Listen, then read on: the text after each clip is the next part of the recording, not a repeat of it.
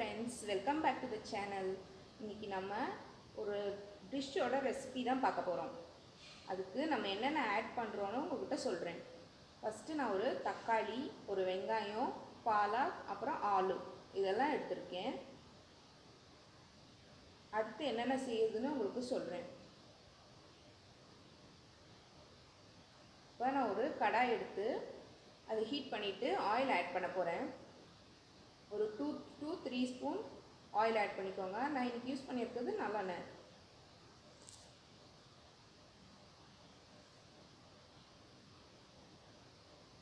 நல்லெண்ணெய் ஆட் பண்ணி அது ஹீட் ஆனவுடனே கடுகு போட்டு தாளிச்சிடலாம்.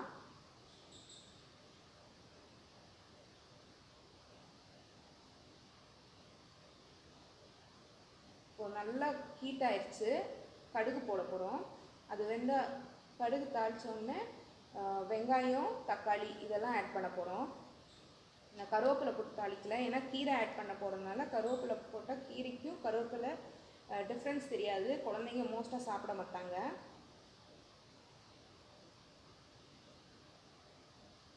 இப்போ வந்துட்டு தக்காளியும் ஆட் பண்ணியாச்சு.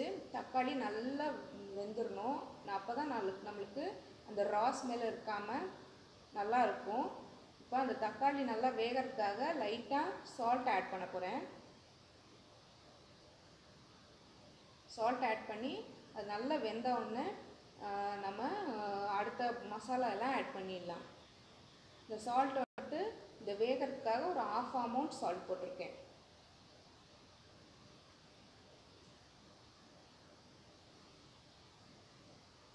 இப்போ தக்காளி நல்லா வெந்தாச்சு. இப்போ அதுக்கு தேவையான மசாலா ஆட் பண்ண போகிறேன் நான் கரம் மசாலா தான் யூஸ் பண்ணியிருக்கேன். உங்களுக்கு கரம் மசாலா வந்துட்டு எல்லா ஸ்டோர்லேயும் இப்போ கடை ரெடிமேடாக கிடைக்குது. நீங்கள் அதை ட்ரை பண்ணி பாருங்கள் இல்லை வீட்லேயே ஃப்ரெஷ்ஷாக அரைச்ச கரம் மசாலா போட்டால் டேஸ்ட் நல்லாயிருக்கும் கரம் மசாலா வந்துட்டு two two two two and half spoon நான் யூஸ் பண்ணியிருக்கேன். உங்கள் டேஸ்ட்டுக்கு தேவையான அளவுக்கு நீங்கள் யூஸ் பண்ணிக்கோங்க. இது வந்துட்டு ரொம்ப வேக விடாமல் ஒரு டூ டு த்ரீ செகண்ட்குள்ளே நம்ம அடுத்ததை போட்டுடலாம். ஏன்னா அது வே கருகிருச்சுன்னா நம்மளுக்கு டேஸ்ட் நல்லா இருக்காது. அடுத்து நான் பொடியை நறுக்கி வச்ச கீரை எல்லாத்தையும் அதில் ஆட் பண்ண போகிறேன் கீரை ஆட் பண்ணிவிட்டு வேறு எந்த தண்ணியும் இருக்கு ஊற்றலை ஏன்னா கீரையிலேருந்து கொஞ்சம் தண்ணி வெளியே வரும். அதே மாதிரி நம்ம கழுவி இருக்கும் போது த தண்ணி எல்லாத்தையும் ட்ரெயின் எல்லா தண்ணியும் ட்ரெயின் பண்ண முடியாது. அந்த தண்ணி கொஞ்சம் இருக்கும். எல்லாமே சேர்ந்து வேகும் இப்போ ஒரு ஒரு five to three to five minutes வந்துட்டு க்ளோஸ் பண்ணி வேக வச்சு எடுத்துடலாம். இப்போ அது நல்லா வெந்ததும் நல்ல இப்படி சுருளை வந்துருச்சு. இதுக்கு அடுத்து நம்ம வேக வச்சு வச்சுருக்கிற உருளைக்கிழங்கை எடுத்து போட போகிறோம் உருளைக்கிழங்கையும் போட்டு ஒரு த்ரீ மினிட்ஸ் மூடி வச்சோன்னா அந்த உருளைக்கிழங்கு அந்த மசாலா கீரையோடு நல்லா பிளெண்ட் ஆகிடும் இப்போ இந்த மொத்த மொத்த டிஷ்ஷுக்கு தேவையான சால்ட்டை ஆட் பண்ணிக்கலாம்.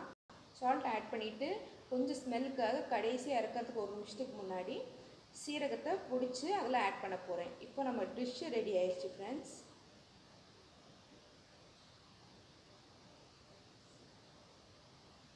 ஃப்ரெண்ட்ஸ் நம்ம இப்போ செஞ்ச பாலாக் டிஷ்ஷோட நான் செ நான் செஞ்ச லஞ்ச் மெனுவும் கூட ஆட் பண்ணியிருக்கேன். நான் இன்றைக்கி கொள்ளு துவையல் செஞ்சுருக்கேன்.